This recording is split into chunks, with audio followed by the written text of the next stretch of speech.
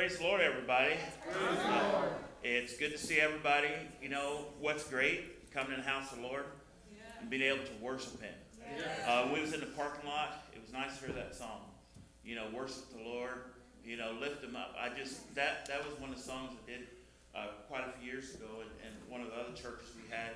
But to worship the Lord, we was talking about on the way here that when we was younger, they wouldn't say where you went to church at. They used to say, where do you worship at?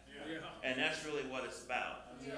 And um, I just want to spend a few minutes to talk about what the Lord's been uh, talking to me about. And one thing that, that the Lord really wants is us to worship Him. Yes.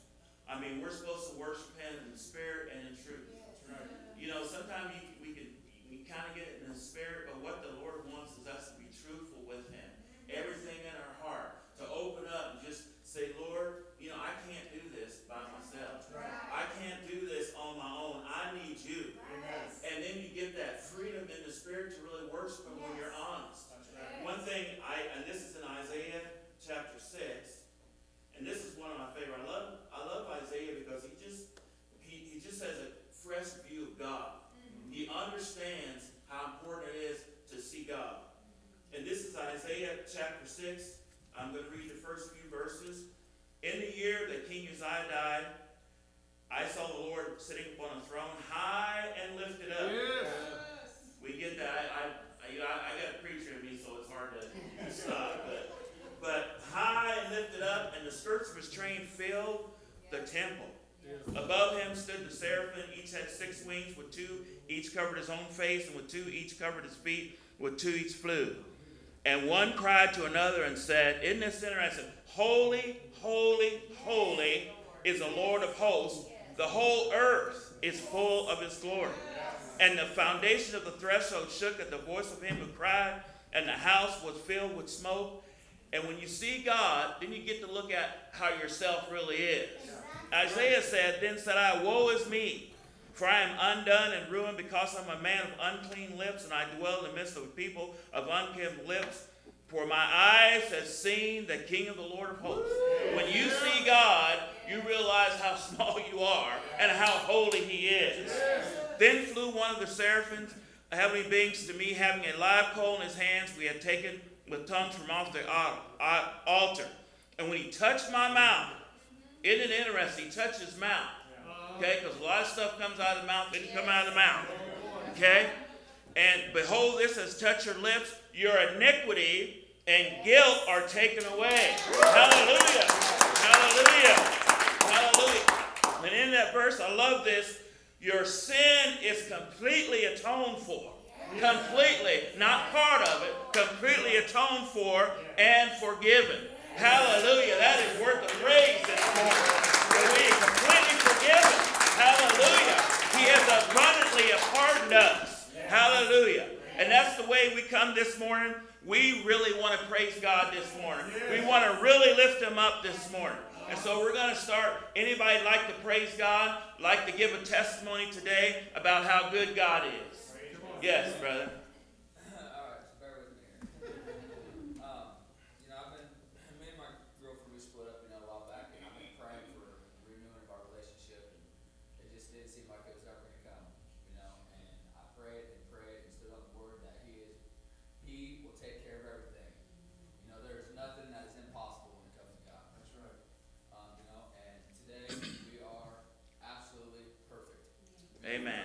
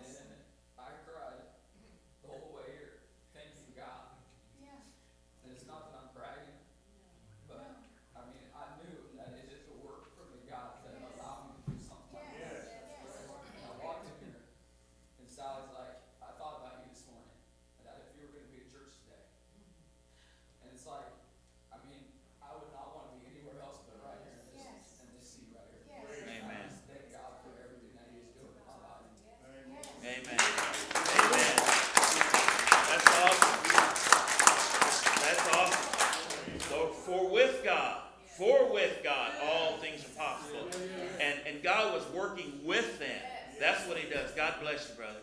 Yes. Well, we've uh, had some things in our family, as everybody does, that have tried. My wife's brother passed away very suddenly, and that's where we were last week down there. We couldn't do a whole lot. And you know, we've witnessed to him and witnessed to him, and he every time just, I don't want anything to do with it. And uh, I, I've thought about all that. This morning I got up and I, she was laid up. Of course, she had her knee replaced Thursday, and it went very well. We thank God. for Praise that. God. Praise God. But she's still sore and got stitches and all that. And uh, uh, I talked to my mother, and she's been a saint of God for years and years. Got the Holy Ghost. She was ten. Most know that. She's always lived for God. Now she's 88 years old. She's getting confused and so on. And I, I keep crying out to God, why? That doesn't make. I don't see that in the Word. Why would that happen? What is going on? And the Lord began to deal with me about the. Now, bear with me, because I, I never saw this. Maybe I'm blind. Maybe other people have seen it and understood it. But the problem with the planet Earth is not people, it is demonic forces that are here. That's right. They have caused all the problem of mankind. That's And right. out of nowhere, the Lord told me this morning, that scripture that says we will judge angels, it is those angels. And he said, remember well those who have put you under tribulation.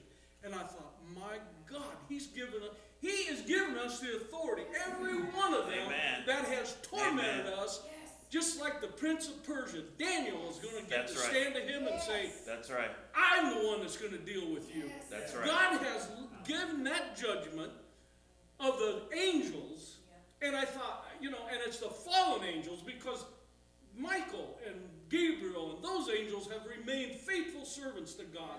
They That's- have done nothing worthy of judgment. But all those who have tormented, and that's why tho- that is why those demons told Jesus that time. They said, "Why have you come to torment us before our time?" That's now right. we know they're going to be tormented, but man, it was the man Christ Jesus that they they were as afraid of as Almighty God because That's right. God has anointed and appointed judgment That's right. to the saints. That's right. And. I thought, my God, we don't even comprehend the power we have in God, what He has planned for us, Amen. what our future is. Amen. But keep, keep in all of your minds, every time the enemy comes and oppresses us, and, and, and Jesus said, tribulation has to come. That's right. That's how we get patience. That's right. But woe unto him who brings that tribulation. Amen. His judgment is coming. And you know those under the under the throne. We we think of ISIS and uh, chopping off heads and and those are only human beings possessed by devils. They in themselves would never do that, but they have they have not turned to Almighty God. Therefore, they're susceptible to those spirits. But it is those spirits that is doing all this stuff. Amen. That's true. And, and you just, you know, I, I don't know, it just overwhelmed me in the car. The Spirit of God just came to me and, you know, in, in a way that I know what I'm telling you is the truth. We Amen. have great authority and, and just remember, that's what the Lord impressed on. Remember this. You know, tribulation has to come, but Yeah. oh, oh we're going to remember and know. Yes. We will know the names of the very ones that are oppressing us. Mm-hmm. Mm-hmm. Amen. Their day's coming. That's right. And all and And tell you two things too. Yep. One, that's why they hate us so much. Yeah. Why Yes. the enemy hates us, because he knows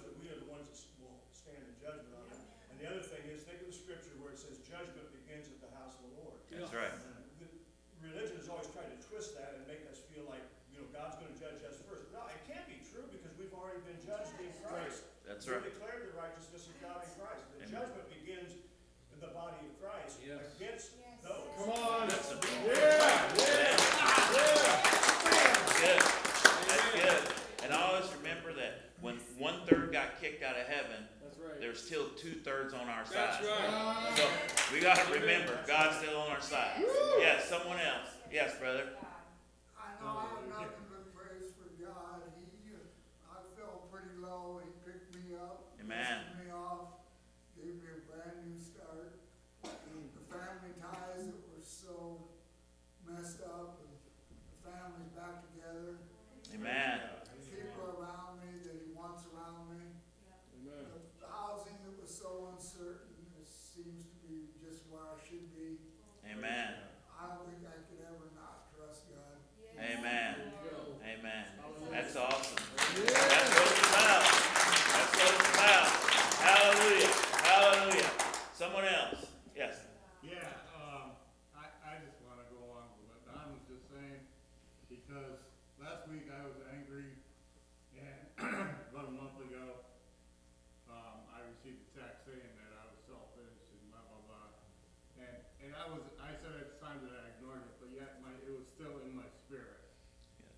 I'm, I'm saying, you know, we don't battle against flesh and blood, but against powers and That's right. principalities. Right, right. And all of a sudden, it just, it just came on me that, you know, it's the accuser that is what they're saying that I am. They're the ones, it's not me. That's right. They're the ones that are, are, are doing the selfishness. And, and I need to obey God and move on and, and just keep doing what God's telling me to do. Amen. And Praise Amen. the Lord. That's, My, my, the owners of my apartment complex, one of the workers came in, he did some, uh, some drywall and stuff in the bathroom. And he was telling me that the owner was down in Texas in the hospital, um, with cancer. And I said, oh, I'm sorry to hear that. And he, and I said, well, he said, "Wait, they tell us not to tell anybody, but, um, and I said, you know, they've been so great to me. And, um, I haven't seen his son around, and usually it's the father, son, it's the father, son that own it. And so the Lord just told me, just, just pray for him, just pray for, for Amen. healing. Just keep praying and praying, and at one time I heard that he didn't make it, and the other day I was driving down the road, and I see him drive in with his pickup, and I'm like, glory to God. Yeah. amen. I- You know, and I see his son, and I'm thinking, you, hallelujah. Praise you, Lord. Yeah. Amen. For healing that man, we continue to heal him, and I know they're believers. Um, you know, I've been up to Clubhouse a couple times, and they have Caleb on, so, you know, I just praise God. Yeah. Amen. Praise the You know, Lord. 'cause I That's feel- awesome. Awesome. Hallelujah. You don't need to tell anybody, Amen. just tell God. Amen. Awesome. Amen. Awesome. Yes. James? I had something happen to me and my friends. Well, we have two dogs, and my other dog went away down to my friend's down the street. One of mine goes to Cheryl, and yeah, he was in Cheryl's driveway, and I finally found out it was like, and if he would've went farther, you you don't know where he would've went, he just knew where home was. And I'm glad, because I could've had that dog gone for a long time, and my kids seen him, and their friends put him down there, and I said, I went down there and checked the first time, I still didn't see him. And I found him last night, and I'm real happy, because God's an answer to prayer, because that could have been really horrible, trying to find that Yeah. dog later at night, and I could have been in more of a hurt. But God Amen. is our Amen. God, and I'm thankful, and, uh, the articles of, uh, Tim Hatfield talks about the gracious of light, and every time I see the moon, I think of the luna moth, and a lot of people don't realize the luna moth is a little green moth with a big tip double tails, but if he can fly near the moon and if our God is that bright, then he shines through everybody. It's- Amen. and It's Praise the just Lord. remarkable. Amen. Amen. Amen. Awesome. Yep. Easy mark. Yeah, I wanna, uh, just have you stand with me as I believe in my, uh, oldest daughter Jenny's back being healed. I've already prayed for her, so just stand in belief with me on that. Um, also, uh, at work, there's, uh, a couple situations, uh, one of our warehouse guys is struggling with, in the hospital with cancer. We prayed for his healing, so just stand with me for his healing to be completed. And, uh, one of our machinists whose life is doing machine work, uh, has a torn rotator cuff. I don't think he knows the Lord, and just stand with me as I believe that the Lord will open up a door to not only minister, but to heal him and this other gentleman at work with cancer. Uh, just stand with me, believe with me for that healing. That's, I praise the Lord for the healing right now, and also then, then their salvation in the name of Jesus. Amen. Amen. Amen. We, we just want to lift up Lord right now and thank Him. You know, that we can come and pray one for another. Prayer is so powerful when you lock arms. And, and Jesus said, when two or three, two or three touch and agree, in my name, when you come in my name, you come together. That's powerful. That's powerful when you pray and you lift the Lord up. I've seen him move in those circumstances when they said there is no way, but there's always a way because Jesus says, I am the way. Hallelujah. Hallelujah. Yes, brother. A good friend of mine, who I mentioned, he was burnt coworker, uh, I think it was on Easter. He'd been over in Iowa City, well, he got out yesterday and returned home, Yeah. and he's hoping to be here next week. So, Of course, everything that's went through his surgeries and all this horrible original prognosis he's got, he's come way above expectations. Amen. He's Amen. doing that. This, God's got something good for this man, I keep encouraging him, and one of these days, he's gonna come in here, and he's gonna see what the plan is for him. When he gets a hold of it, he's going somewhere. Amen. Amen. That's awesome. That's awesome. Yeah, God's got a plan for all of us. You know, Jeremiah, before I was formed in the belly, God knew me.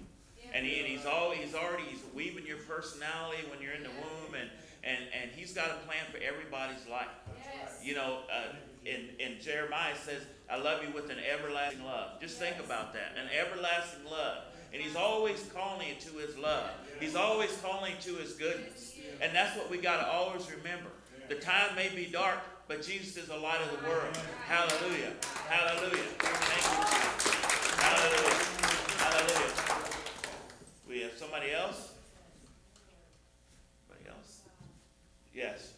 I just need some prayer here. I don't know, I woke up the other night with my big toe just totally throbbing. My friend says it's gout. I don't know. It's just almost unbearable and I have a really busy week this week, so nothing's touching it. No pain pills are touching it. It just, very intense. So I need healing. Yeah. We'll pray for that. God's a healer. God's a healer. Hallelujah. Hallelujah. Thank you. Thank you. Thank you. Anyone else?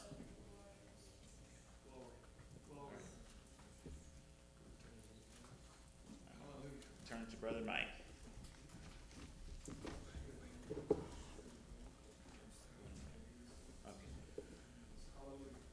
Would y'all stand at this time? We're going to go ahead and pray for the needs we have.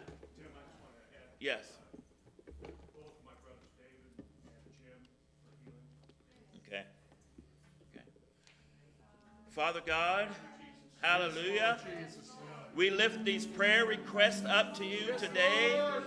Hallelujah. You pray, pastors, brothers, Lord, in the name of Jesus, that you can be with Sheila right now and touch her body, Lord. The needs that we have in this body. Father God, that you are able. Hallelujah. Thank you, Jesus. Uh, when they asked uh, uh, Moses to go back into Egypt, said, Who sent me? Tell them I am. Hallelujah. I am. I am. I am God. I am the present God, a very present God. Hallelujah. In the time, He's a present help right now. And today, Lord, we ask in the name of Jesus that you would come in and touch everybody. You know the needs that are represented in this body. Father God, we thank you for your praises.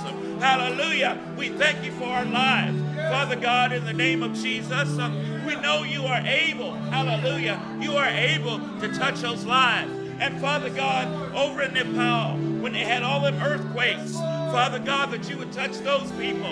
Oh, Lord, I know there's a lot of questions, hallelujah, about what happened. But one thing about it, it's in the beginning, God, that you are in the beginning of our lives. You are the Alpha or Omega. You said that you would never leave us or forsake us.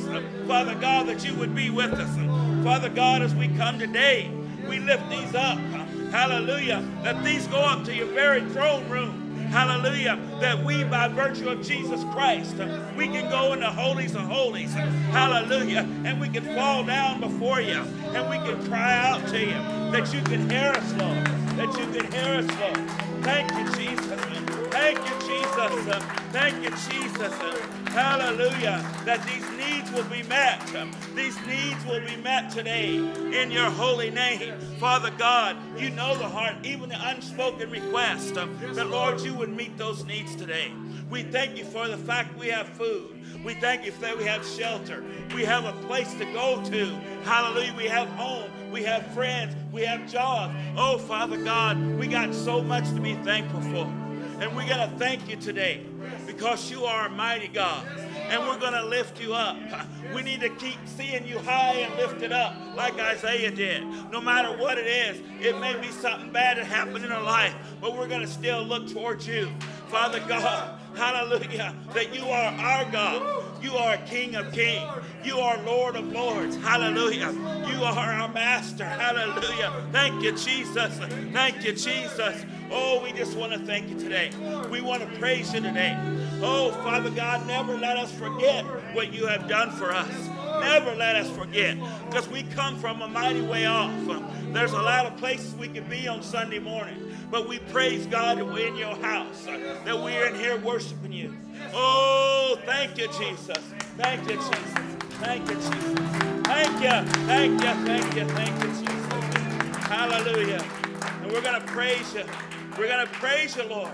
In your wonderful, holy, holy, holy, holy name, we pray. Amen and amen. Hallelujah.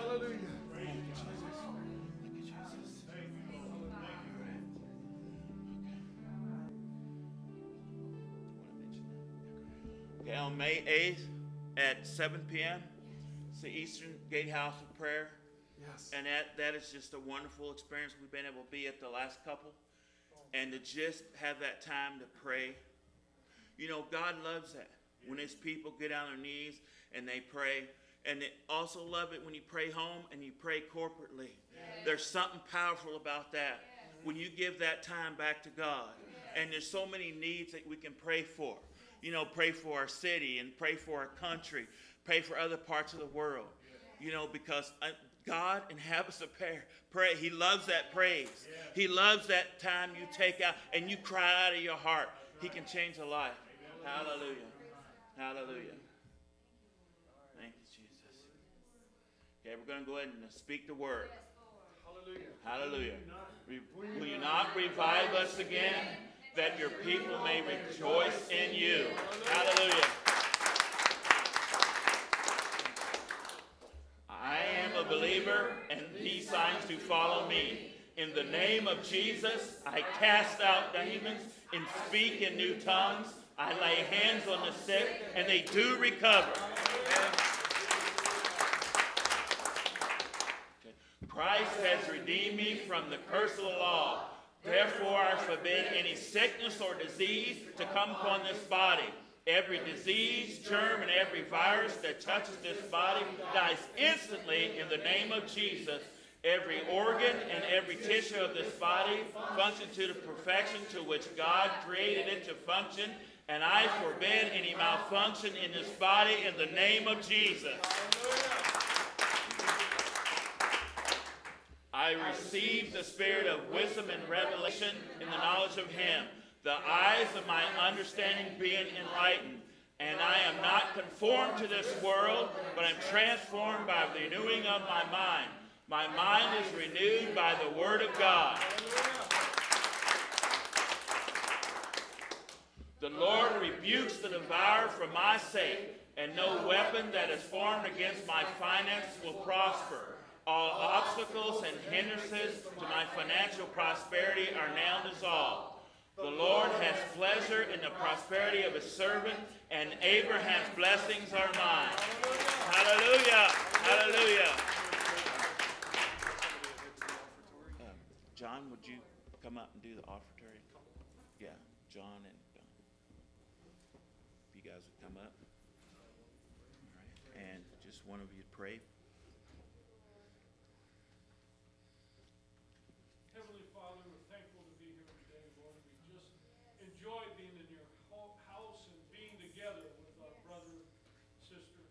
Yes. We just are so honored, Lord, that you have revealed yourself to us. We're thankful, Lord, that we've responded to it. We just pray, Lord, that you'll continue to reveal your hidden secrets for these days for us. For Lord, we truly believe we are that generation that will bring in the kingdom, your kingdom. Hallelujah. the Yes. destruction of the Yes. enemy's kingdom. We just pray that you'll bless this offering, that it Yes. Be used for the intended purpose. Bless those that give and those that are unable, for we ask it all in that name that's above every name that was spoken. Hallelujah. Father, in Hallelujah. the name of Jesus. Yes. Hallelujah. Amen. Hallelujah. Hallelujah. Hallelujah. Hallelujah. Hallelujah. Glory. Thank you. Bless you. I thank the Lord for Brother Tim coming into our midst. Bless you. He teaches guys to drive eighty thousand pound trucks, eighteen wheelers, double bottoms, hazmat, the whole works. But this is just something on the natural side that we're seeing. I know the Lord is gonna use him to teach an army Yes. to go out Yes, across the highways and the byways. yes. Thank you, Brother Tim. God bless you. Thank you. Hallelujah. Hallelujah. Hallelujah. Thank you, Jesus. Praise you. Y'all got your praise on? Click me a screen there, Sheila. Don't shush me. Rita could leave the room because she already saw it on Facebook earlier.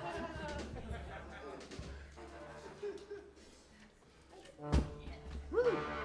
Y'all ready? Hallelujah.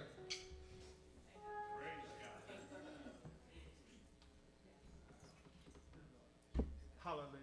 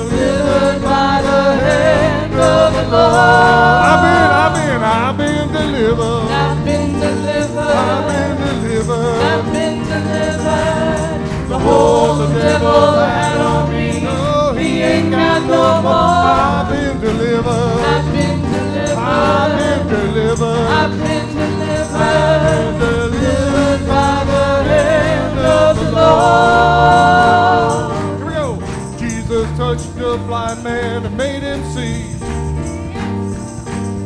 He cast the demon out of the man from Galilee. He cleansed the leper too. He made the blind man new. He brought hope back in the hopeless life and now our tempted body. I've been delivered. I've been delivered. I've been delivered. I've been delivered. The whole devil had on got no more. I've been delivered. I've been delivered. I've been delivered. I've been delivered by the hand of the Lord. He say, someone I know this close to death. He gave a boy with asthma. He gave back his breath. The greatest miracle to see is from sin he set you free. When Jesus set you free, you are free indeed. I've been delivered. I've been delivered. I've been delivered. I've been delivered. The whole oh, the devil had on me, no, he ain't got no more. I've been delivered. I've been delivered. I've been delivered. I've been delivered. I've been delivered Lord. Well, I'm so glad Jesus lifted me. I'm so glad Jesus lifted me. I'm so glad Jesus lifted me. Singing glory, hallelujah. Jesus lifted me. Well, Satan had me bound, Jesus set me free. Satan had me bound, Jesus set me free. Satan had me bound, but Jesus set me free. Singing glory, hallelujah. Jesus set me free. Well, I'm so glad. Jesus set me free. Yes, I'm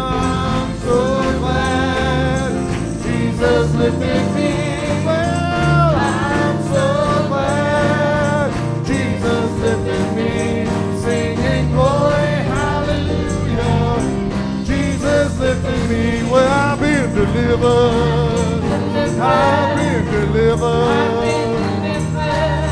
The devil had on me, no, he ain't got no more. Delivered. I've been delivered by the hand of the Lord.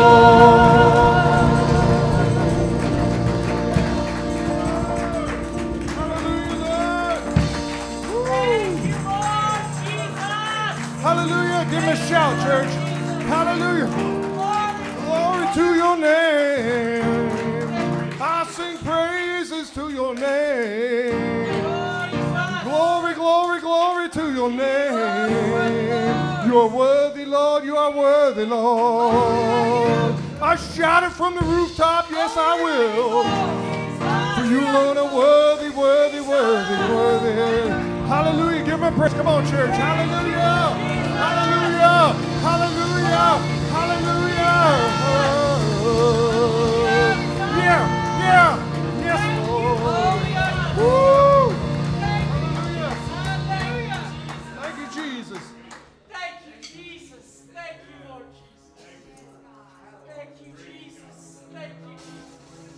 I saw a family moving in across the street. Holy Ghost, just just grab a hold of them. Hallelujah. Hallelujah. Hallelujah. Just touch them, Lord. Just touch them, Lord. Just touch them, Lord.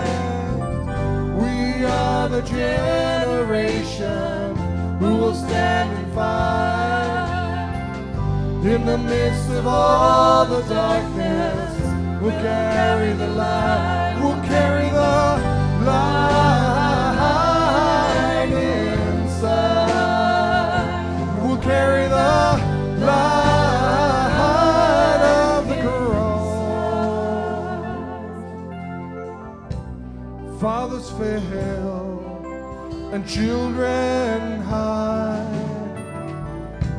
Hearts are broken from the hurts they have inside. And yet a new day breaks. There's still another reason why to live. Yes, Lord, we live for you.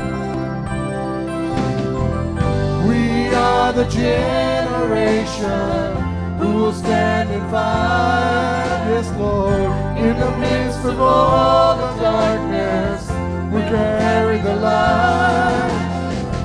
We are the generation who will stand and fight.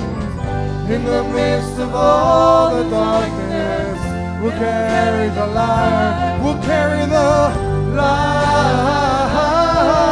inside.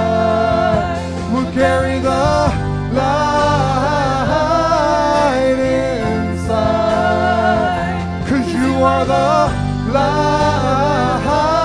of the world and the God of the cross. Now's the time, and it's day to stand.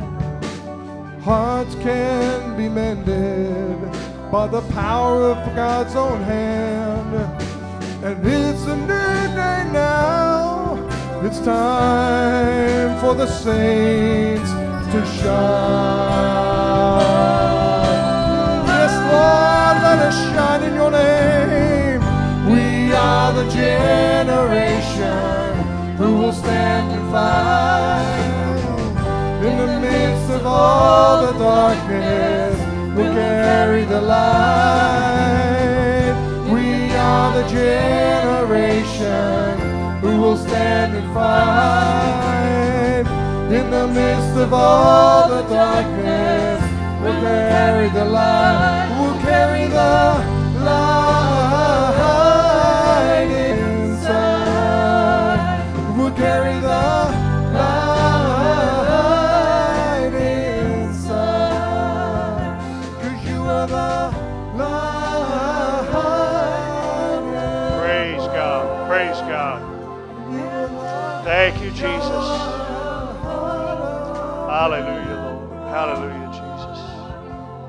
Praise God. Let's all lift our voices to the Lord right now. Father, we just praise you. We bless you and worship you, Lord.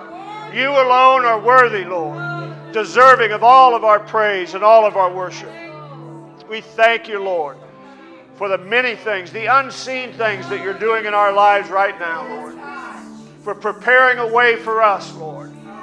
Hallelujah, Jesus. Thank you, Lord. Thank you, Lord. Hallelujah, Jesus. I thank you, Lord, for what you're doing. Hallelujah, Jesus. I thank you for the answer to every prayer that's been prayed here this morning, Lord. Thank you that you've already given us the victory. In fact, Lord, you are the victory in every situation and over every circumstance. We are victorious, Lord, in you. Thank you. Thank you, Jesus. Hallelujah. Give the Lord a big hand clap this morning. Praise God. Thank the Lord. Praise the Lord. Give the worship team a hand clap. They did a great job. Praise the Lord. Praise God. Thank you, Lord. Praise the Lord. God bless you. Y'all may be seated. Hallelujah. Thank you, everybody, this morning for contributing, whether it was a testimony, a prayer request, in your praise and in your worship. Hallelujah. Every, every bit of what we do as a body here, we all play a part. And uh, sometimes we have a, a, testimony, sometimes we have a prayer request, sometimes we, uh, you know, we're, we're, we're, worshiping and praising the Lord. But whatever you're doing, your, your presence here is a part of the whole body, a part of what makes us work. Praise the Lord. So, amen. Don't ever feel like you're not having an impact or that you're not having an influence because the very fact that you're here influences the spirit realm. Amen. It influences the enemies, hallelujah, of our soul. I appreciate everything spoken here today. Amen. I, have been blessed already. and I could say that we've been blessed enough we don't even need to go any further, but I get paid for going further. Praise the Lord. So, hallelujah. That's the way it works. Hallelujah. Amen. But I'd like, uh, uh, if you would, uh, Roberto, uh, put up here uh, Psalms 118, verse 24. It's really not my text, but it does. It's something the Lord just spoke to me uh, early this morning. In fact, I wrote it down on the half of an envelope. Hallelujah. That was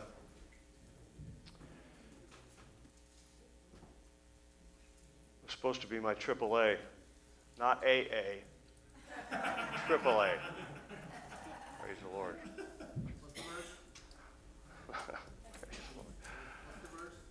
Uh, 118 verse 24. It's familiar scripture. Y'all, y'all know it.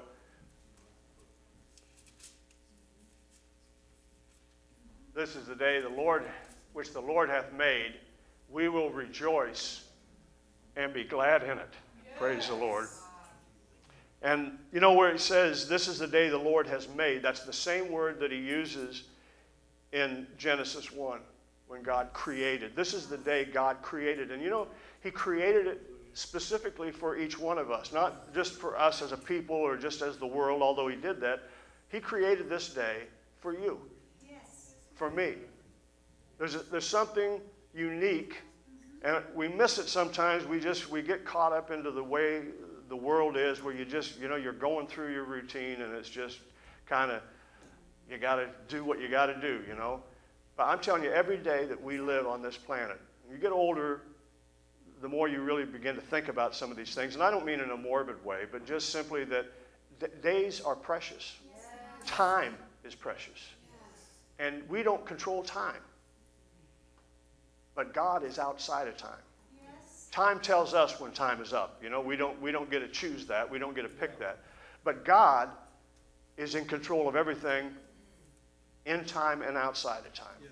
So we, let, we don't have to let time be a dictator to us, although we need to realize that, you know, the past, yesterday is the past, right?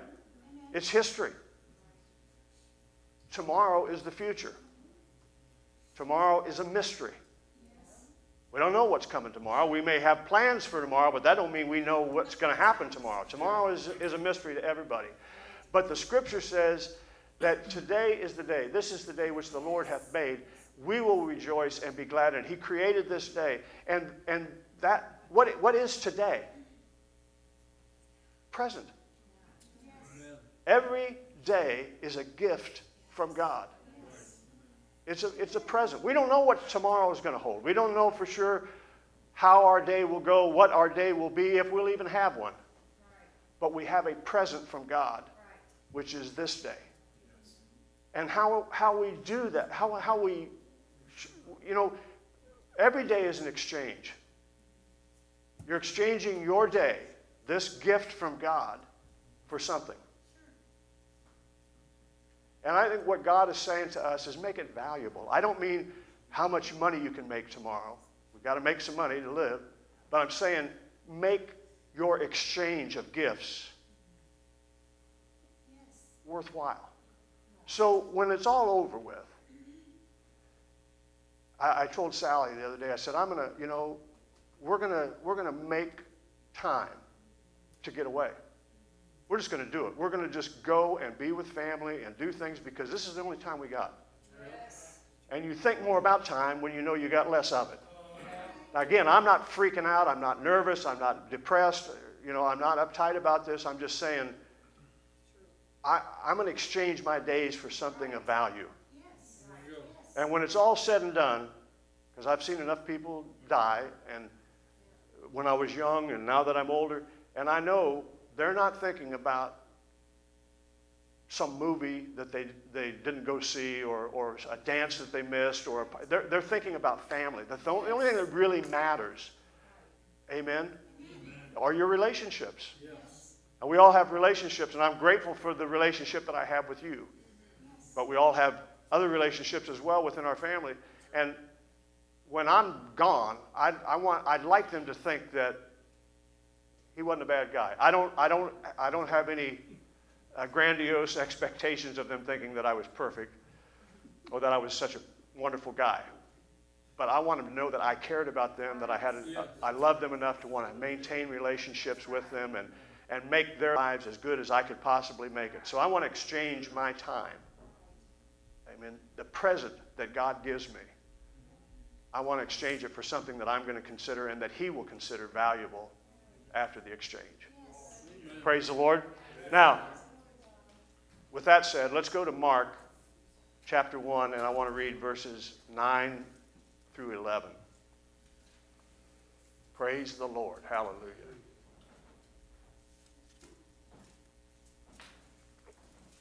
I guess I'm just saying, at this point, I don't have any regrets. You know, I, uh, there are things that I would have done differently, obviously, if I, if I had it to do over again. We all would. But I don't really have any regrets because I've done what I can do with what I've got. You know what I'm saying? And uh, so I'm not going to be, when my time comes, I'm not going to be laying there anguishing over, you know, gee, I wish I'd have been a better this or a better that or whatever.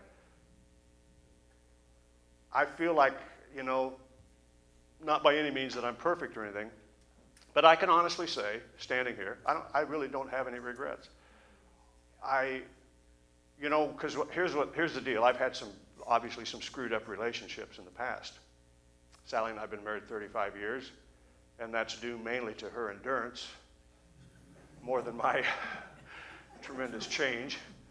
But in the relationships that didn't weren't sustained and didn't work out and were chaotic and all the rest of that,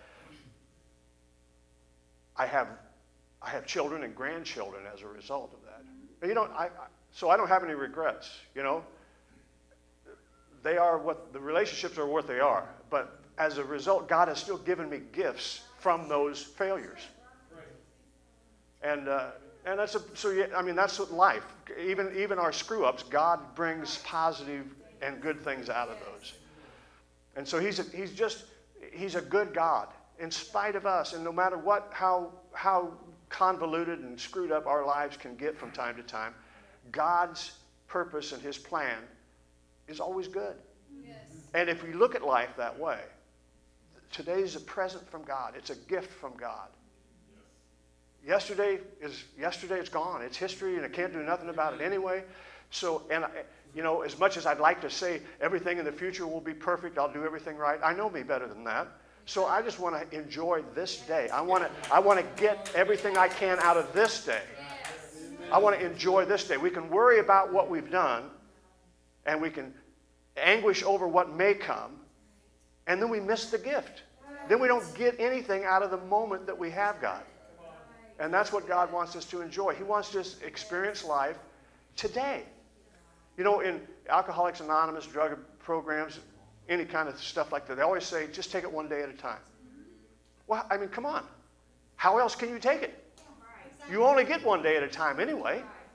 Let's just, let's just live each day and enjoy that day for what it is, whatever it is. If you live it that way, even when bad stuff happens, the bad stuff doesn't dominate you. You just get the best out of the day that you can get. Amen?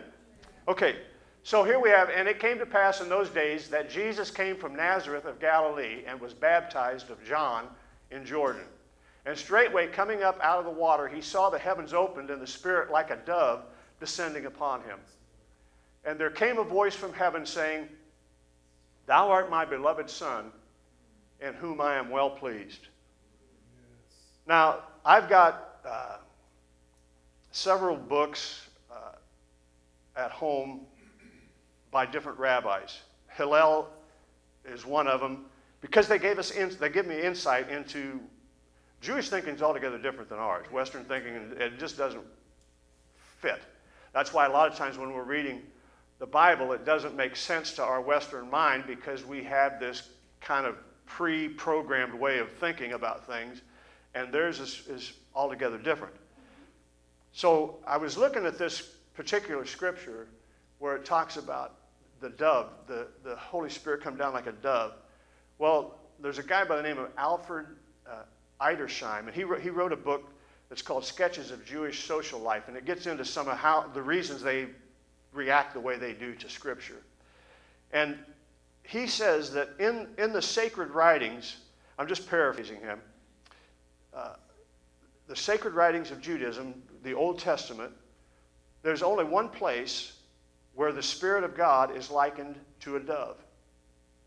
And that's in the Targums, and the Targums are simply the Aramaic translation of the Hebrew Scriptures that were being read and translated at the time of Mark. Jesus spoke Aramaic, that's, that was the, the, the language that was used then. So the, the, the way they translated the Old Testament scrolls and scriptures was into Aramaic. And they called that the Targums. That's what they were, that's what they were referred to. So in Genesis chapter 1 and verse 2, in the, in the creation account, it says the Spirit hovered or the Spirit moved over the face of the waters. Now, that word hovered or moved is actually number 7365. If you have a Strong's Concordance, you can go look it up for yourself and you'll see what I'm telling you is true. 7363 is the number, and it means to flutter. We say he hovered over the, you know, or he moved upon the waters, depending on the translation. But the actual translation is flutter, and it, the word is rakaf. It's a Hebrew verb, and it's saying the Spirit fluttered over the face of the waters. So, to, to express that image, the rabbis in the time of Mark, in the time of Jesus, they translated the passage for the Targums like this And the earth was without form and empty, and darkness was on the face of the deep, and the Spirit of God fluttered above the face of the waters like a dove. And God spoke, Let there be light. Now we know the, first prayer that they teach Jewish children is the Shema. And I'm probably not pronouncing that right, or Shema, but it's Hear, O Israel, the Lord our God is one. So when I say this, I want you to understand what, what the scripture is actually telling us. God manifests here in creation. He, he manifests as a creation active God. That's the, the kind of the verbiage. That's what, that's what you're getting out of it. God, God's Spirit, and God's Word. Hear, O Israel, the Lord our God is one. There's three things happening here, three activities, but it's one God. And so it's God, it's God's Spirit, and it's God's Word through which God creates. That's right. Now, there's the same manifestation at Jesus' baptism. You've got the Father, the voice, you've got the Son, the Word of God, and you've got the Spirit fluttering like a dove. So we're seeing a manifestation of God's creativity and creative force taking place. And Mark is deliberately pointing us back to the very beginning of history. This isn't just some, you know, disconnected, disjointed activity that's taken place. It's, Jesus said something to John. John said that, you know, you should be baptized in me. And no, Jesus said, no, that all scripture may be fulfilled. It's necessary that you baptize me. Right. He's saying there's something prophetic and something. See, the way the Jews look at prophecy, we look at prophecy as something that's said here and then it takes place somewhere out in the future. But the Jews look at prophecy as though it's always unfolding. It's a continuous in everything. It's always going on. It's always going on in everything that's happening. So that's why when we read the scripture, we read and we get we get confused sometimes when in fact just like what the scripture is teaching it's amazing they, they this is the way they understand it but they don't get it is that jesus is being revealed from genesis 1 Amen. that prophetic word of God is being opened and revealed over and over and over in every area of the Scripture, whether it's talking about the commandments, whether it's talking about the, the, the uh, tabernacle or the, or, or the uh, temple, whatever it is, in, in, in all of the Levitical uh, priesthoods, in, in, the, in the minutest little details of badger skins on top of other, uh, you know, adornment. Everything is, is pointing to him. Everything is about this revelation.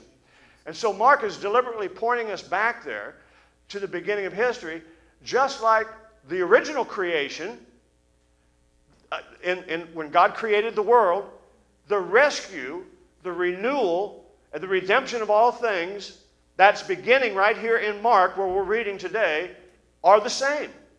It's the same activity. God is not a static thing. God is not just off up in space somewhere sitting on a throne. He is active. He's dynamic. He's pulsating. He's activity. Wherever God is, He's moving. The Jews have another uh, way. You ever watch them at the Western Wall when they're praying? There, there's always movement. They, they, they're never standing still. It's, it's never like a lot of times we think in Western culture and, and Christianity, we want to get alone somewhere and get on our knees and pray. And that's fine, that's, that's all good. But the, to the Hebrew, God is alive. He's, he's active. He's moving. He's, and so when they pray, you'll always see them. They're, they're, they're either doing this or they're, they're nodding or there's, there's a movement of some kind because they're trying to connect with the vibrations, amen, of God. God is an active activity, amen, a, a, moving, pulsating activity. He is a life. In fact, He is the life. Hallelujah. And it's not a stagnant life, it's not a static life, it's a life of activity. See, a self centered life is stationary life. Praise the Lord. It's static, it's not dynamic. Uh, say, Praise the Lord. Have you ever been around somebody that's self centered? You know, ain't much happening. It's all just there. You know, it's just, it's, it's just stuck. A self centered person wants to be the center, amen, around which everything else orbits. We all heard the expression, you know, uh, they think the world revolves around them. You ever known anybody that thought the world, they're, they're a pain to be around because it always has to be about what they want. If it isn't happening their way, then they're depressed or they're angry or they're hostile. Praise the Lord. But a, a, a, self centered person is a static person, is a person who is stationary. There, there's no real life going on there, there's no real uh, movement taking place. Just think about it. If everybody's saying, you orbit around me, right? What happens? Well, you picture two people, or five people, or ten people, picture a hundred people, and they're all saying, you, you orbit around, everybody orbit around me. Right? And they're all saying the same thing. They're all saying, we, we want to be the center of, of everything that's going on. So y'all just, you know, rotate around me, uh, orbit around me. And they all just stand there and say to the others, You move around me. And what happens? Nothing. No one gets anywhere. Everybody's waiting for somebody else to move around them. Right? We were made. This is what we've been talking about from the very beginning, from the opening. We were made not to just believe in God or to be spiritual in some general way. You know, uh, not just to pray and, and, get a little bit of revelation or, or uh, inspiration, which is all good, but that's not the, that's not the total purpose. For us to, to, to have a life is to be one with God, and, this, and, and we have this kind of this religious idea that it's about, well, if I pray enough, God will show me something, God will do this, God will do that. And, and uh, when things are bad, you know, then I'll go and connect with God and get God to do something to fix the bad thing that's going on, right? And I'm not saying there's anything wrong with that kind of prayer, but I'm saying that tends to be about me. It self-centered, right? It's me saying orbit, me. Praise the Lord. We are made to orbit around God. Think about what I'm saying. To think in terms of our relationship to God. In other words, that's what he says when he said, uh, Seek ye first the kingdom of God and his righteousness, and all this stuff gets added to you. The problem with religion is we focus on the stuff. We, we want the stuff, we need the stuff, and God tells us we can have the stuff, but instead of focusing on the relationship with God, that kingdom relationship, we're focusing on our lack or whatever we don't have or whatever we want or whatever it is that we're, we're, we're struggling with. Amen? So we need to orbit around God. We need to think of everything in terms of our relationship with God. Let's look at this, uh, Roberto, John chapter 17 and verse 3.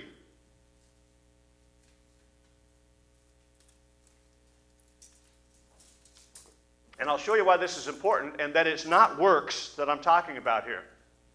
But he says, This is life eternal, or this is God life, that they might know thee, the only true God, and Jesus Christ, whom thou hast sent. So, are you in orbit, or are you looking for someone to orbit you? If eternal life is centered on God, then more than anything, we need to be in orbit. We need to be have in other words, I'm saying we need everything needs to revolve around God. That's how faith grows. That's how you can you, you don't have faith based on your stationary position. Your faith will waver, your faith will be weak, your faith will come and go. But if you are orbiting God, in other words, if God is the center, your faith can't do nothing but grow.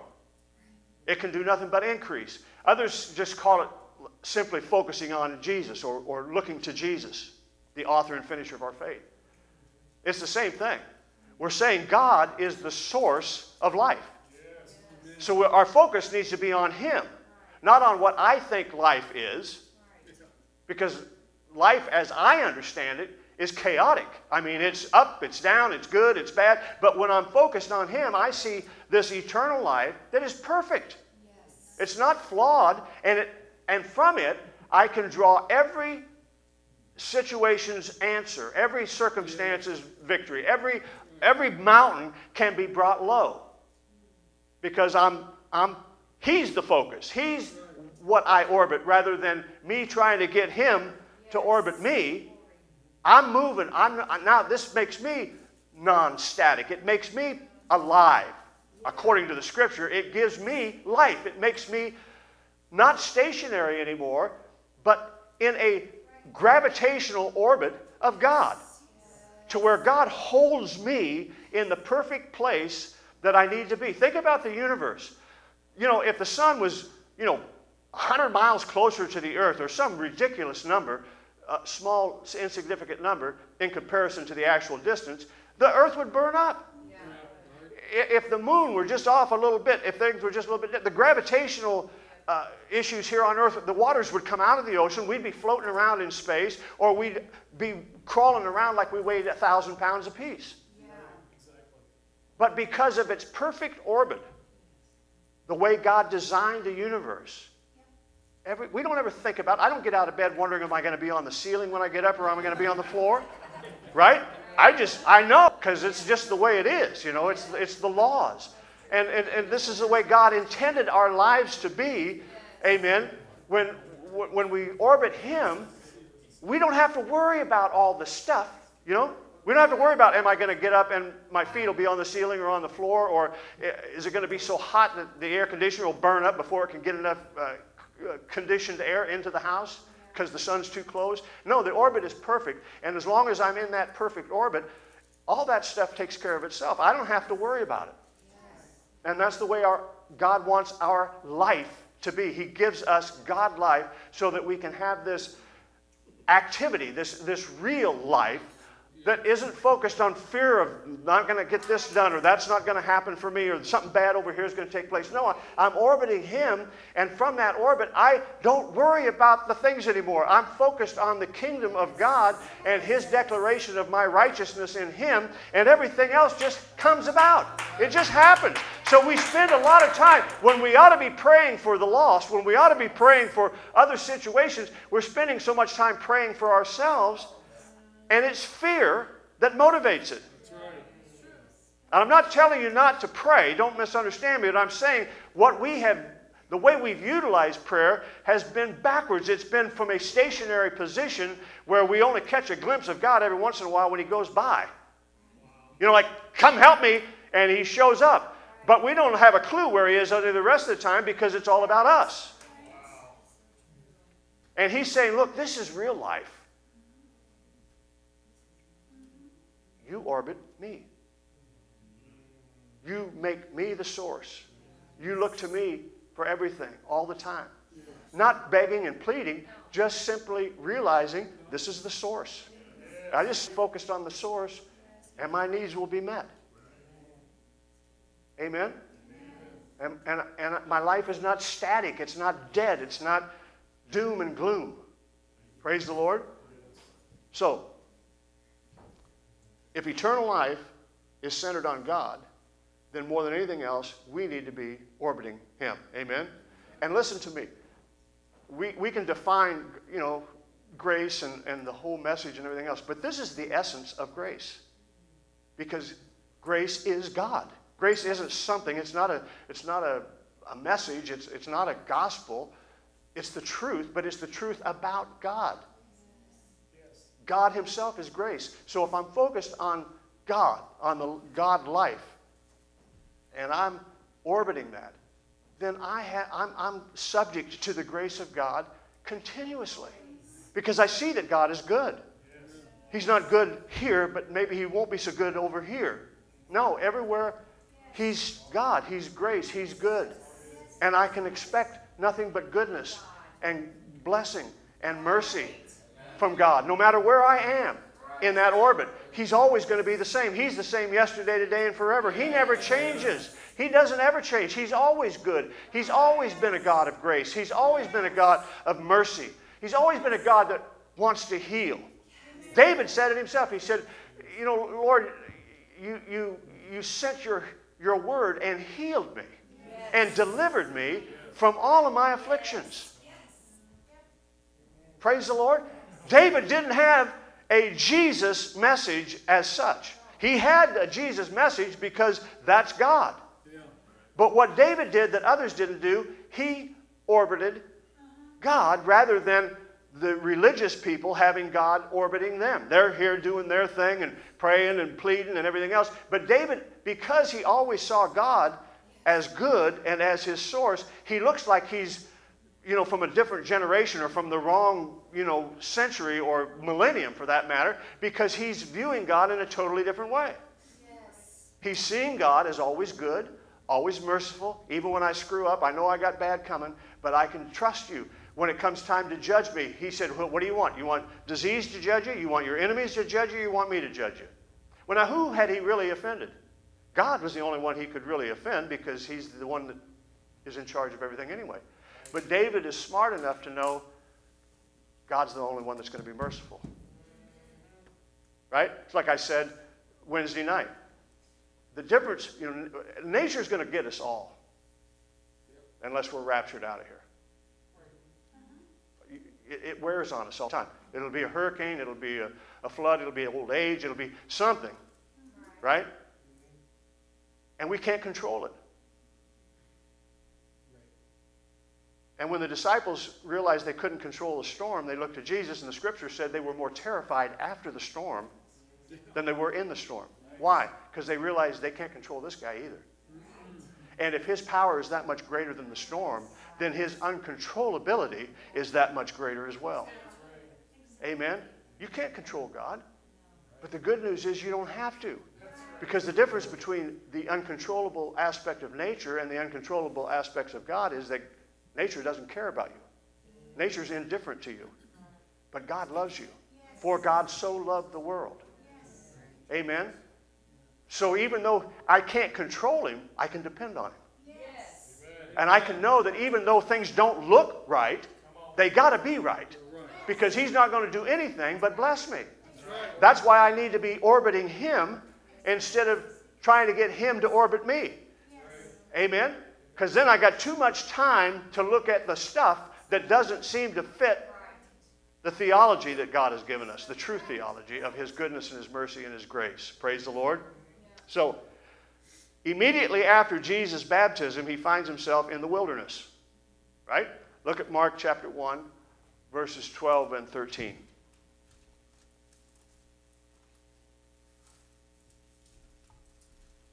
And immediately the Spirit driveth him into the wilderness, and he was there in the wilderness forty days, tempted of Satan, and was with the wild beasts, and the angels ministered unto him. Amen. Now, in, in the two times that we talked about, in creation and in Jesus' baptism, Mark is showing us something. And what he's showing us is that even though ultimate reality is revelation and relationship with God, what we're going to experience in the world as reality is battles. Does that make sense to you? In the two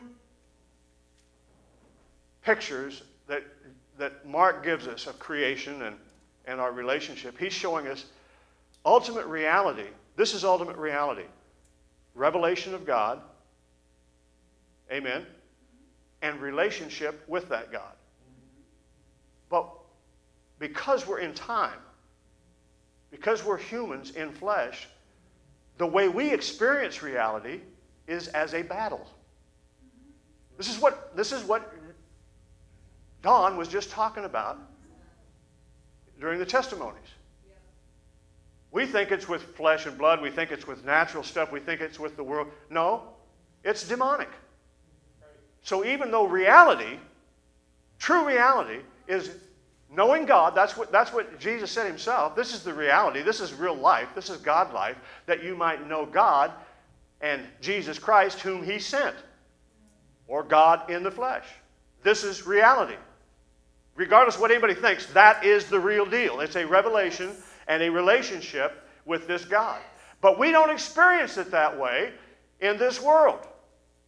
In the world, we experience reality as battles. Life, in other words, is full of battles. In this world, you will have persecution, but be of good cheer. Keep, on, keep in orbit, amen, and your reality will change. Your perception, because perception becomes reality. And that's what the devil is hoping for. He can get convince you that this battle you're in is the reality of your life. This is what life is. It's a constant struggle. You're always being attacked. Your health, your finances, you're this or you're that. He, he wants to get you to perceive that to be reality, so therefore it will become your reality. What you think is what you get. Because what you think is what you say. And because we have authority, what we end up saying is, is manifesting in all kinds of negative ways. Because we're not focusing on God, we're focusing on everything else. You know? We're stationary, just looking at the crap, and begin to perceive that this crap is reality. When reality is God. Never changing, always there, always has the answer, always has the blessing, always grace for my failures, always mercy. Amen? More than enough. Exceeding abundantly above all that you can ask or think. Amen?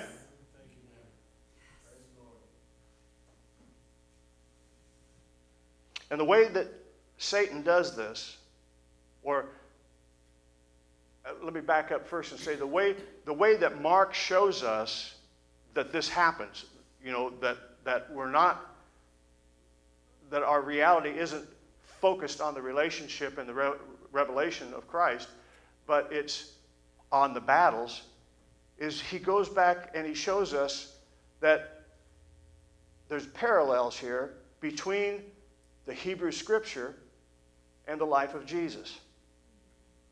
The Spirit moves over the face of the waters, right? In creation. God speaks, and when He speaks, He speaks the world into being. So humanity is created, and history is launched. Praise the Lord. But what's the very next thing that happens? Satan. He shows up to tempt Adam and Eve, right? The first human beings in the garden are being tested. And now here we are in Mark chapter 1, and the Spirit, the water, amen.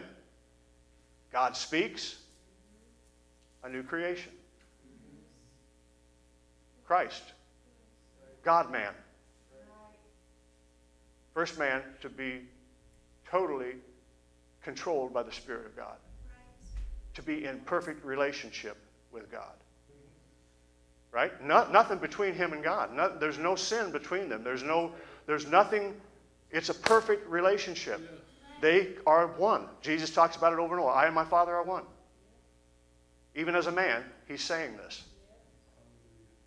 So we have this, this re, replaying, if you will, or this parallel of the creation, and here it's a new humanity. History is now altered forever. History was launched, it began in the garden, but now it's like history stops and a new history begins. Think about it. You didn't even have a history yet, but your history was being changed before you even had one because of Jesus. So once you come to the Lord, old things are passed away. All things become new. So whatever your history was, as, as debauched and screwed up and, and dysfunctional and whatever else it might have been, it, that history doesn't exist anymore.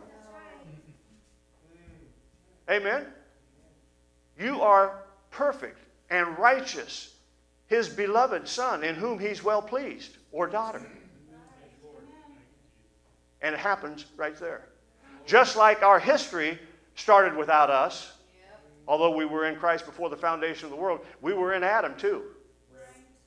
And we reaped the benefits, negative as they were, for his actions. We had a history before we had anything, before we even had a present. But God gives us a present so that he can change our history uh-huh.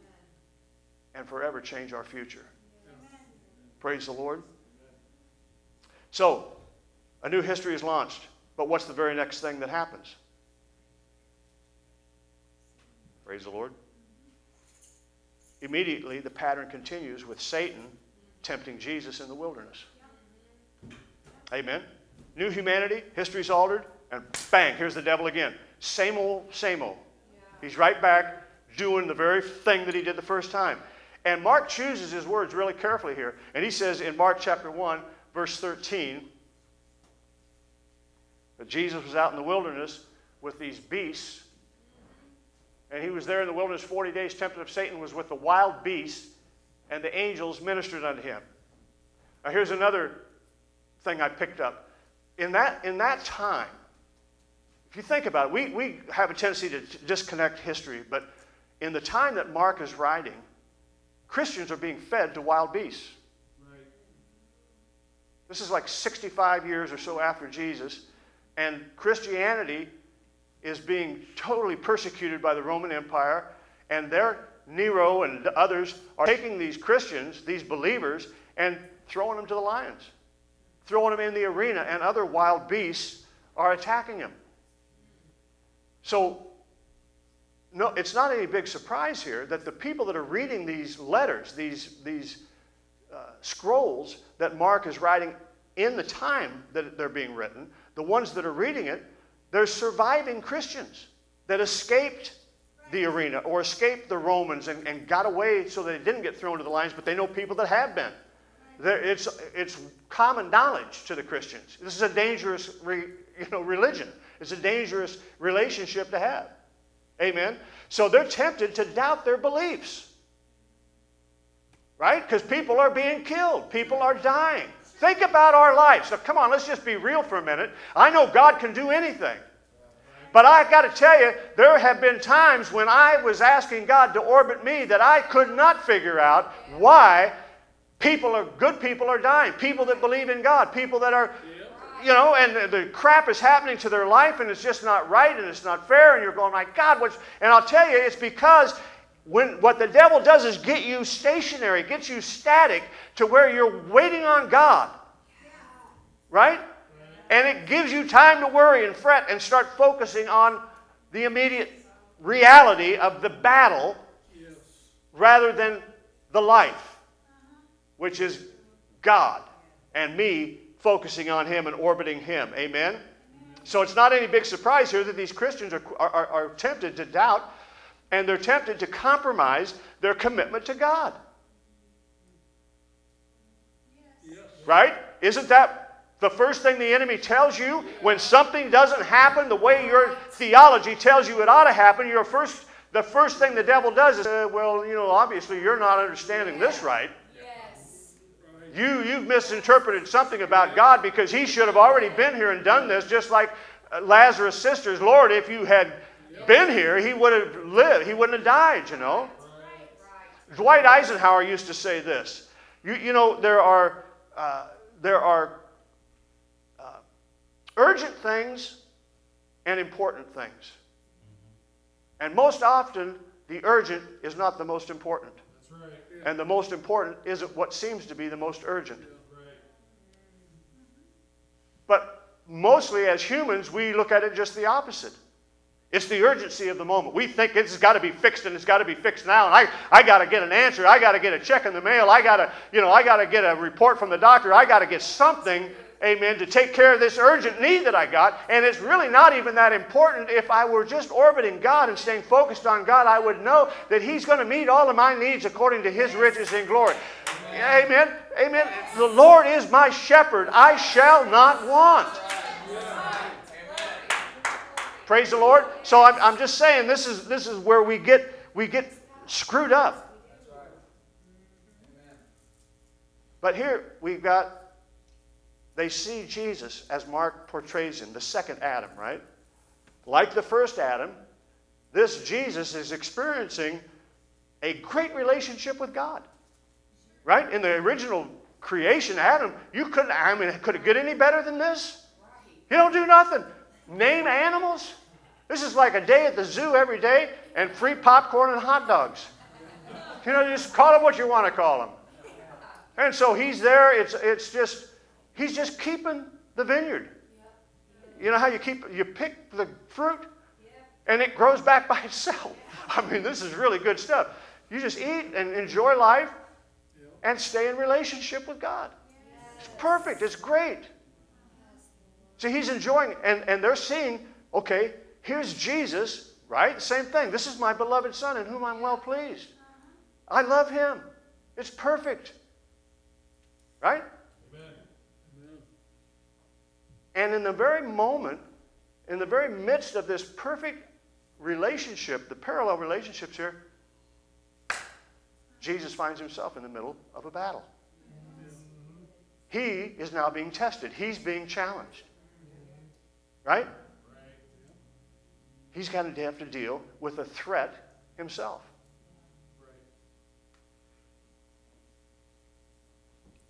Hallelujah. See, the, the wilderness isn't just a random detour. It isn't just a stumbling into trouble. Right. It is a battleground. Mm-hmm. It's warfare. Temptation is not impersonal. Again, this goes to what was being said in the in what Don shared with us this morning, which was fantastic. But it proves the point I'm making. Temptation isn't impersonal. Testing isn't impersonal. And God tempts no man. God doesn't test us. He doesn't need to. He knows us. If you're a born again believer, He's already declared you to be perfect and righteous and holy. There's no need for Him to test you or to tempt you. That's right. It's the enemy who tempts and tests. Testing your orbit, if you will. Testing your position in God. Amen? Again, now, it's perception. He can't remove you from the hand of God, but He can convince you that God has let you go. Amen? He'll try to get you to perceive the battle as reality rather than God being the reality. That's right. When you start seeing the battle as reality, you don't have faith to believe God for anything. Because after all, your thinking is if God was going to do what he was supposed to do, I wouldn't have a battle. Right? I, I, all things would be good for me. Not work for good, but they just would be good. Right. Amen. Amen? So, temptation isn't impersonal. impersonal. There is an actual enemy doing the testing.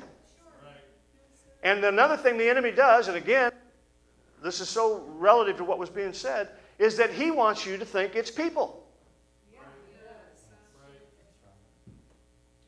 What do you think we've had war after war after war from time immemorial? Because people thought it was about people. Their battle was always with flesh and blood and not with the principalities and the powers that were dominating or influencing these people. And every one of us, if we're honest, we know that the enemy has influenced us to do stupid stuff, say things, do things that we, we know with hindsight we wouldn't have done if we had it to do over again. But he gets us in the battle and convinces us this isn't a battle, this is life, this is reality. People are just mean. Right? You can't let them push you around. Get a gun. Praise the Lord. I got one, but I'm not going to use it unless somebody tries to use one on me. You know what I'm saying? Yeah. I know the difference between reality, amen, and battles. But I know there's a fine line sometimes, a gray areas, you might say, where it's so real you can't see the forest for the trees.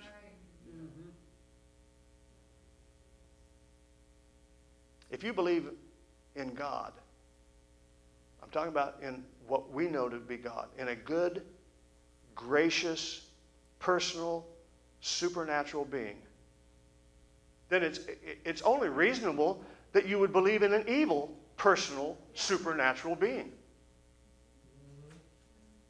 You can't, I mean, it, amazes me people that believe in heaven but don't believe in hell. Yeah. Yeah. They believe in God, but they don't believe in the devil. Well, that makes God really even more dangerous because then that means he's got to be the one doing the evil. Yeah. Now you don't know what you got. You've got a bipolar, schizophrenic God that you don't know what's coming out of him from one minute to the next. But that's why he starts right off and shows us Satan right away and how he, how he acts towards human beings, what he does to people. So that we can see the difference. God is good, and he's good all the time, and he's always good. He's not, he doesn't change. And the devil is evil. Yes. He's not going to do you some good. No. Whatever he does for you is bad. It's going to bring about death, lack, suffering, heartache. Yep. Amen? He comes to steal, to kill, and to destroy. That's all he does. That's his whole function. And he just keeps on doing it. But God has come to give us life. Remember the scripture? Not static, stationary life about me, but God life. To where God is the center, where God is the answer to every situation. Now, those, those evil forces that the Bible calls principalities and powers, wickedness, evil in high places, right? Those forces are complex and they are intelligent. Don't, I hear people all the time, ah, the devil's so dumb. He, hey, listen, he ain't that dumb or he wouldn't still be operating around here for the last uh, 6,000 years. He knows us better than we know ourselves, not because he can read your mind, but because he's had thousands and thousands, if not millions and billions, amen, of people just like us that he's learned all about how they react. He found it out in the garden Yep. with the first two. And he's been doing the same thing. It's not like a new act. This is a one trick pony, but this guy sells tickets. He, he knows he's going to get, amen, by doing the same thing over and over and over. It works. Yes. Absolutely. Praise the Lord. So that's what we see with Adam and Eve in the garden, and then again with Jesus in the wilderness. Look, look at Genesis chapter 2, verses 16 and 17.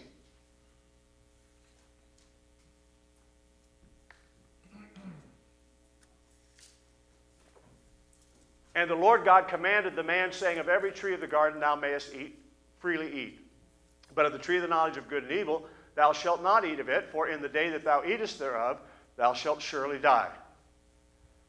Praise the Lord. So in the garden, Adam was told, Obey me about the tree, right? He says, Obey me. Don't eat from the tree. Don't eat that tree of the knowledge of good and evil, or you'll die. Right? Now, why was that a test? I mean, why was that a temptation? Well, because God created us to orbit around Him, to center our lives on Him. God wasn't testing him, He was giving him the way of life. Yeah. Focus on me. Right. That's what I'm always doing with my grandson. Focus. Uh, Whether he's eating or whatever he's doing, he's just always off in a million directions. And I'm always, I'm, Bubba, Clint, you, the fork, get the other end of the fork, the pointy end, that goes in the food, and then it goes in your mouth. Focus. Well, that's what God is doing. We're like little kids, distracted by everything. Yeah, we are. You know, and, and God is constantly going, focus, focus. Keep the orbit, stay focused. And the devil's got us looking here, looking there, you know, freaking out, going through all this stuff. So he, he, God tells him, He said, Now, look, Adam, obey me about the tree, right? God creates us to orbit, to center our lives on Him. When God says, Don't eat or you'll die, what's our first response? Why? Another thing, you get grandkids, you'll get all kinds of spiritual revelations, praise the Lord. Don't do that. Why? You know, they're standing there with a, you know, a butcher knife in their hand, pointed at their forehead, and you're saying, put down the knife. Why? Why? You know, or they're going to leap off a building, you know, or whatever, and you're saying, get down, I don't, don't do that. Why? Quit playing on the stairs. Why? Because I've played on the stairs. I know what can happen. You can break your neck or your sisters or something, you know, you can get hurt. Don't eat from the knowledge of good and evil. Just listen to me. Just do it because I said it. I mean, this is what God is saying, what we've all said to our kids. Why? Because I said so. Right? Because I said so and I know. I'm not trying to be mean. I'm just saying, just do it because I know. I don't need to explain it to you, do I? I mean, do, you, wouldn't understand if I explained it to you. So just do it because I said to. Right? That's what God is saying. He's saying, look, I could try to explain this to you, but you're not going to understand it because you're half the time your perception of this relationship is battle. And because you can't stay focused on me, the explanation won't make any sense to you. Because you just want what you want, you want it right now. And I already know what you really need. Amen. I, I know you need something better than that. You need something more than what you're going to settle for. But for me to try to explain it to you is a waste of time. Jesus even said it himself. There's so much I'd like to tell you, but I can't. Paul did the same thing. I would like to take you deeper, but you're too, you're too carnal. You're too static. You're too stationary in your relationship. You're not ready for all the revelation that God would like you to have. Until you understand what life really is, what reality really is. Praise the Lord. So we say why, but God doesn't explain. And here's what I, the point of all this is if you obey God because you understand what He's doing and how it's going to benefit you, then you're actually stationary. Right? You'd be saying, okay, that makes sense. I get it. I understand why. And God would then be a means to an end, right? Instead of the end. Yes. Right? Instead of the all things, He would just simply be a way to get what I want. That's not a relationship. That's not revelation. That's manipulation. That's self centered. That's me trying to get God to orbit me. Now, He's already told me if I orbit Him, He'll give me everything. I don't have to be fearful and, and, and, and worried and needful. I can just stay focused. Right? And all of these things will be given.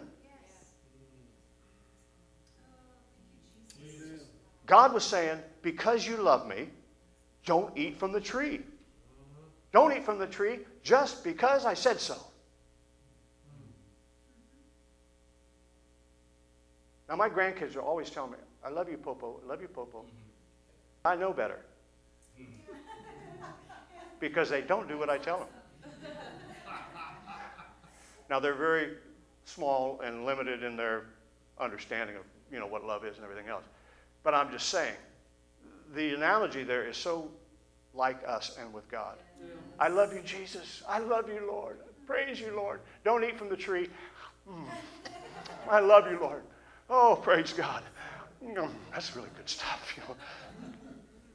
Right?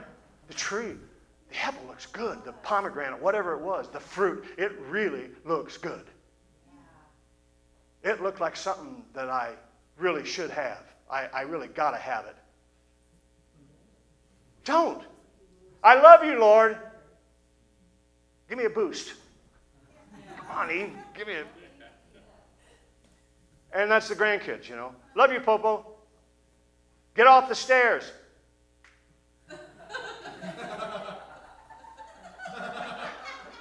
and unlike God, I will punish. Praise the Lord. But otherwise, the analogy is pretty accurate. Praise the Lord. Just smile at you and like, love you, Popo. Going upstairs. What, he, what God is saying, though, is just to be in relationship with me. Don't do it just so we can keep this relationship. Amen? Obey me about the tree, and you'll live. Adam didn't. He and Eve failed the test. And the reality is, the human race, including Christians, have been failing the same test ever since. Satan never stops testing us. Because he'll say to you, this idea of you making yourself vulnerable,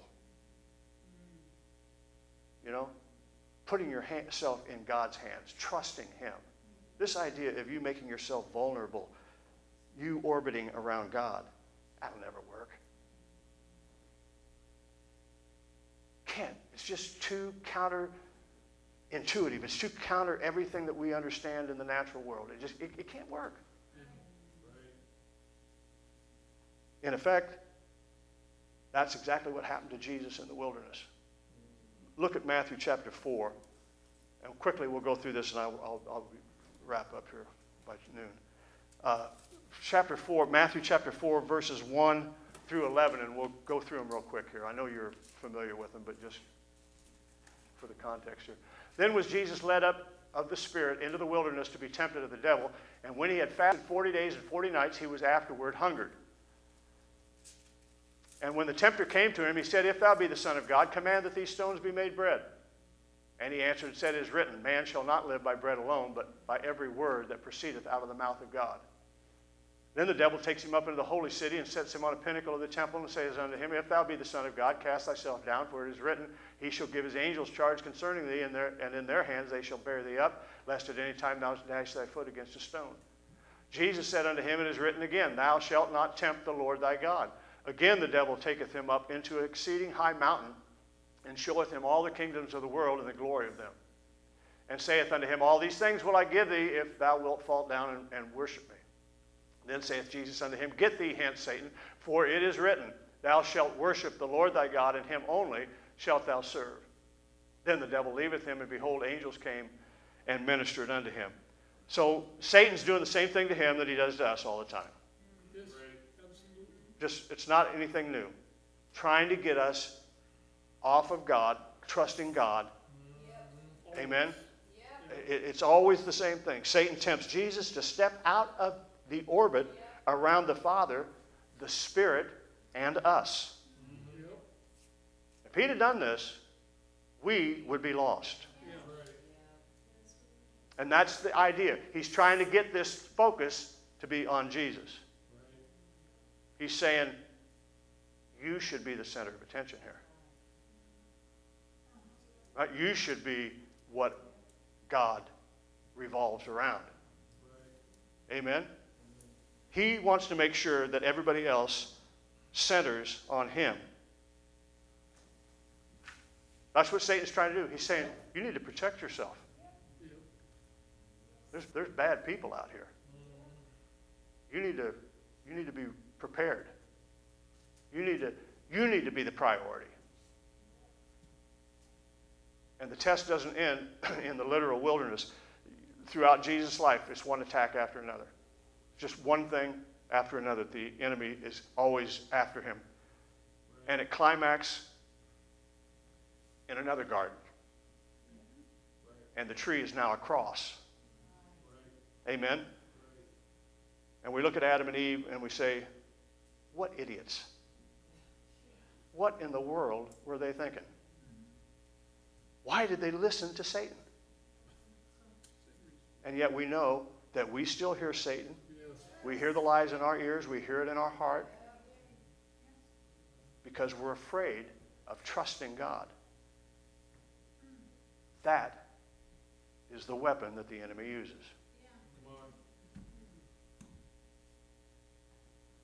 In fact, we got problems trusting anybody, let alone God. We are stationary because Satan tells us we should be stationary. This is about you. Uh-huh. Yeah. Nobody else is going to care about you if you don't care about yourself. I mean, think of the stuff that they teach kids in school today. Oh. Mm-hmm. It's all about you. Yeah. We would have been beaten out of the school for having the same atti- attitudes that they're teaching them in the school today. Yeah. We'd have been driven out with switches if we were lucky. See, that's the one thing about getting older. You can, it's pitiful how we had to walk to school three miles in the snow, uphill both ways, barefoot. Praise the Lord. Oh, yeah. Well, praise the Lord.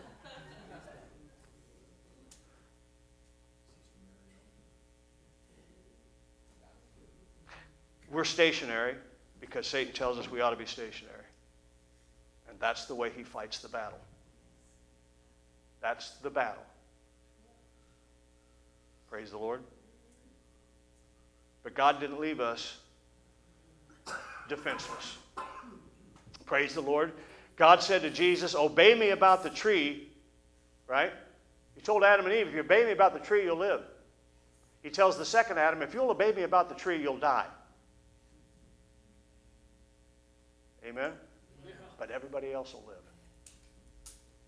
So Jesus did. And he went before us into the real battle. Yes. Thank you, Lord. This battle of it about me or about trusting God, about my perception or about his reality. Is this battle reality or is it just a battle mm-hmm. that Jesus already went before me and won? Amen? Yes. He's saying, look, I, I, I've already won the victory. Yeah. Yeah, yeah, he said there's persecution, there's going to be battles, but that's not the reality. The reality is I have already overcome right. the enemy. Yes. That's the reality, but you only have that reality as long as you're orbiting God. Right. Praise the Lord. Amen. Hallelujah. He's gone before us to bring us into ultimate reality, into that orbit, amen, which is simply, I'm using all that terminology, but it just simply means trusting God. It just, He's gone before so that we can look and say, we can trust God. After all, He went all the way. And he trusted God, and he was raised from the dead, and now he's victorious, and now he's seated, amen, on a throne, amen, far above all principalities and powers. He is everything, and as, as it, again, as it was said, listen, know ye not you will judge? These people that are trying to give you a false reality, you one day will judge them for the liars and the deceivers that they are. Praise the Lord. Well, if you're going to judge, it'd be a good idea to know more than the one you're judging. Or he'll continue to deceive you. Praise the Lord. Sometime, when you're in the, the hardest battle, when you're tempted, when you're hurting, when you're feeling vulnerable, when you're feeling weak, if you just listen, you'll hear it deep down inside this is my beloved child. You are my beloved child, whom I love, and with you I am well pleased. Amen? While the devil is screaming one thing, God is settling something deep down inside of us. Amen? You're a new creation. And just like he said to Jesus, he says to you every single day, whether it's a good day for you or a bad day for you, whether you've been really good or really naughty. Amen? Amen. This is my beloved child. Yes. I love you.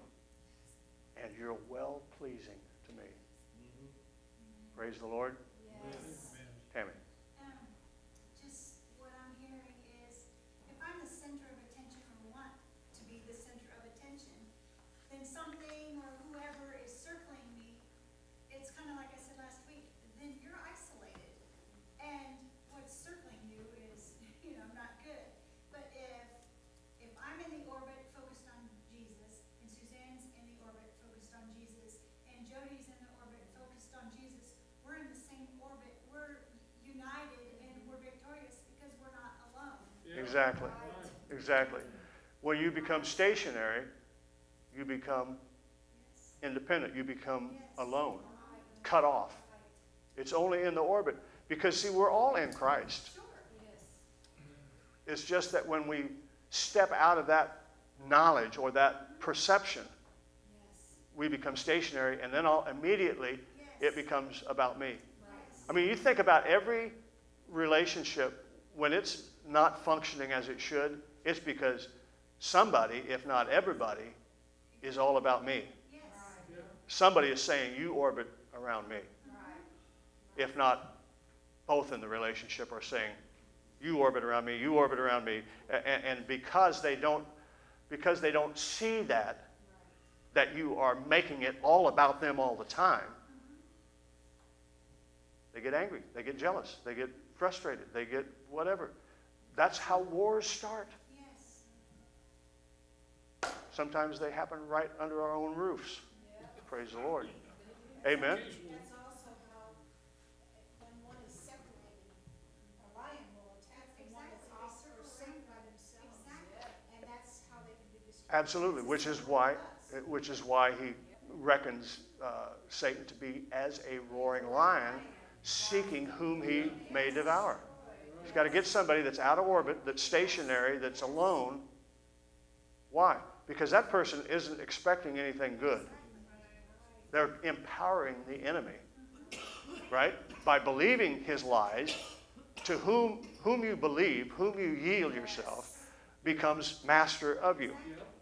So you can be a Christian and be saved and go into heaven and still have Satan mastering your life. Absolutely. Because we know he stepped in and done it at different times. Well, he, there are some people whose entire lives are lived in that constant fear of the next shoe falling. right?